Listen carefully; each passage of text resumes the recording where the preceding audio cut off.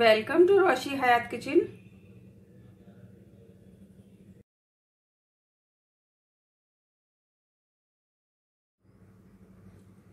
बिस्मिल्लाहिर्रहमानिर्रहीम। अस्सलाम वालेकुम व्यूवर्स। आज हम बनाएँगे गोभी आलू की सूखी सब्ज़ी। ये बहुत टेस्टी होती है और इसमें हम कोई भी लहसुन या प्याज का यूज़ नहीं करेंगे। इसके बिना ही बनाएँगे तो इसके लिए यहाँ पर 300 ग्राम्स मैंने यहाँ पर आलू लिए हैं, यानी कि पटैटोज और इसको अच्छे से छील कर, ऐसे छोटे क्यूब्स में कट कर लिया है और इसको वॉश करके स्टेनर पर रख दिया सुखाने के लिए, क्योंकि अगर हम इसे गीले में फ्राई करेंगे तो इसका पानी बहुत छटकता है, इसलिए इसको अच्छे से हमने सुखा लिया है कट करने के बाद में।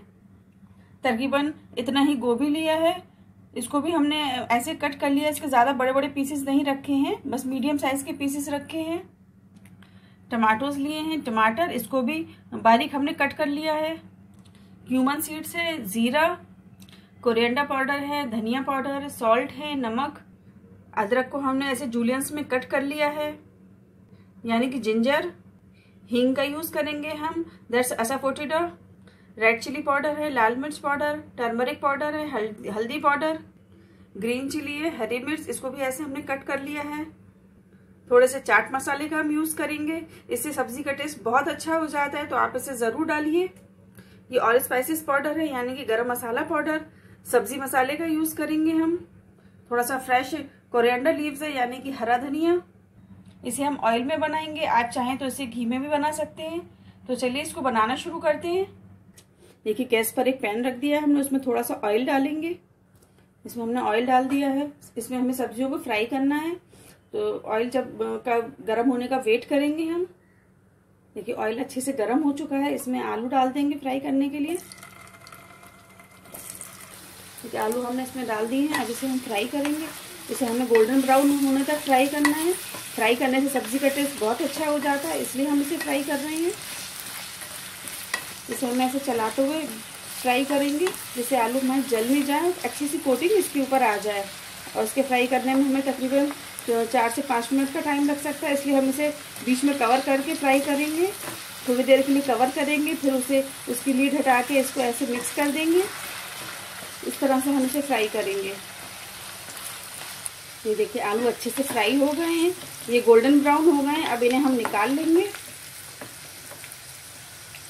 देखिए आलू हमने सारे निकाल लिए फ्राई करके। अब इसमें हम ये गोभी डाल देंगे, क्योंकि तो गोभी को भी हमें फ्राई करना है। इसको भी हमें फ्राई करेंगे। एक अच्छा सा कलर आने तक। देखिए गोभी भी फ्राई हो गई है, अब इसको भी हम निकाल लेंगे। देखिए, हमने आलू और गोभी दोनों को फ्राई कर दिया है और उसको निकाल लिया है। अब इसके बाद उसी पैन में हम ये थोड़ा ऑयल बचा था। इसी ऑयल में हम तड़का लगाएँगे। इसमें ये जीरा डालेंगे। हींग डाल देंगे। हींग और जीरे की बहुत अच्छी खुशबू आ रही है। अब इसी मसाले में हम ये हल्दी डाल देंगे, फ्लेम हमने लो पे कर रखी है। देखिए, इसमें हल्दी पाउडर हमने डाल दिया है इसी मसाले में। इसको थोड़ा सा मसाले के साथ हम भून लेंगे। बस, अब इसमें ये लाल मिर्च पाउडर डाल लेंगे इन सबको भून लेंगे, जिससे एक अच्छा सा कलर आ जाए। और इसमें अदरक डाल देंगे, हरी मिर्च, और कटे हुए टमाटर डाल देंगे। हम सबको अच्छे से भून लेंगे हम। फ्लेम हमने बिल्कुल लो पे कर रखी है इस टाइम देखिए। इसमें थोड़ा सा धनिया पाउडर भी डाल देंगे। इसमें हम नमक भी डाल देंगे क्योंकि नमक डालने से टमाटर जल्दी गल जाएँगे और मसाला हमारा जल्दी तैयार हो जाएगा। इन सबको अच्छे से मिक्स कर लेंगे। इसको हमें टमाटर के सॉफ्ट होने तक भूनना है। इसलिए हम इसको लो फ्लेम पे भूनेंगे मसाले को, जिससे मसाले का कच्चापन भी निकल जाए और टमाटर भी हमारे सॉफ्ट हो जाए। तो इसको हम कवर कवर करके रख देंगे तकरीबन दो से तीन मिनट के लिए, या तब तक, जब तक कि टमाटर हमारे अच्छे से सॉफ्ट नहीं हो जाते। तो इसको हम कवर करके रख देंगे लो फ्लेम पर। ये देखिए मसाला अच्छे से भुन चुका है। टमाटर भी बिल्कुल सॉफ्ट हो गए हैं। अब इसमें हम ये तला हुआ गोभी डाल देंगे। इसको मिक्स करेंगे अच्छे से।